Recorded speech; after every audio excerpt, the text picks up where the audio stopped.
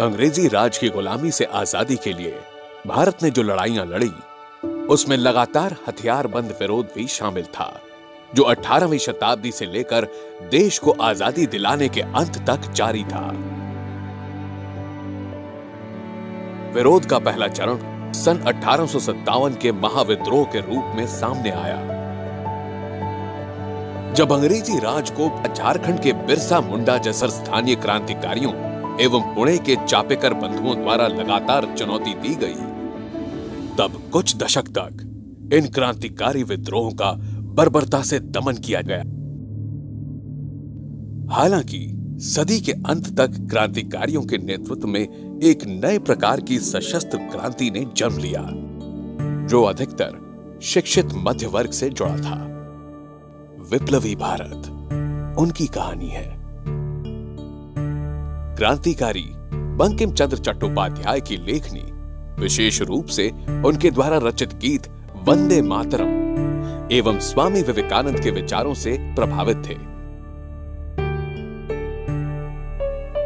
ऐसे परिवेश में अरविंद घोष और विनायक सावरकर जैसे नेताओं के नेतृत्व में क्रांतिकारियों की पहली पीढ़ी ने भारत और दुनिया के अलग अलग क्षेत्रों से संबंध जोड़ना शुरू कर दिया था। आमतौर पर इन क्रांतिकारियों के संपर्क का माध्यम गुप्त समितियाँ, जैसे अनुशीलन एवं युगांतर जैसी समितियाँ हुआ करती थी। रास बिहारी बोस, बाघा जतिन सचंद्र नाथ सान्याल, चंद्रशेखर आज़ाद, भगत सिंह और मदन लाल ढींगड़ा जैसे प्रसिद्ध क्रांतिकारियों के नाम अधिकतर भारतीयों ने सुने होंगे। फिर भी यह ध्यान देने की बात है कि उन्होंने जो कार्य किया, वह सिर्फ़ वीरता से जुड़े निजी कार्य नहीं थे। ये सभी क्रांतिकारी पूरी तरह देशी संबंधों एवं विदेशी संपर्क सूत्रों से जुड़े होकर साथ एक बड़े आंदोलन का हिस्सा थे।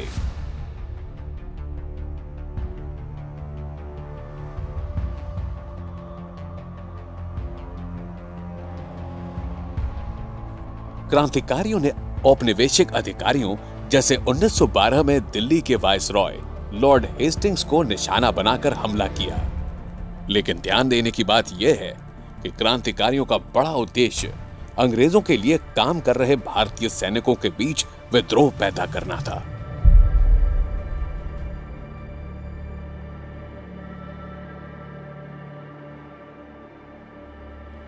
प्रथम विश्व युद्ध के दौरान गदर का प्रयास, द्वितीय विश्व युद्ध के दौरान आज़ाद हिंद फौज और आखिरकार 1946 का नौ सैनिक विद्रोह, जिसने भारत की आज़ादी की लड़ाई का नेतृत्व किया।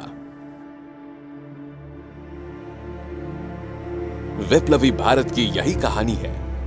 अंग्रेज़ी औपनिवेशिक शासन से भारत की आज़ादी की लड़ाई में क्रांतिकारियों एवं उनकी सशस्त्र क्रांति की कहानी एक प्रमुख हिस्सा है।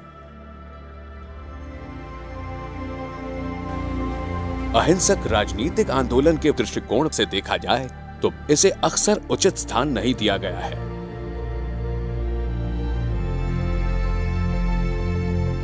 विक्टोरिया मेमोरियल हॉल में इस नई गैलरी का उद्देश्य उन्नीस सौ सैंतालीस तक की सभी घटनाओं को समग्र दृष्टिकोण प्रदान करना है और क्रांतिकारियों द्वारा निभाई गई प्रमुख भूमिका को दिखाते हुए स्वतंत्रता संग्राम के इतिहास को संतुलित बनाना है।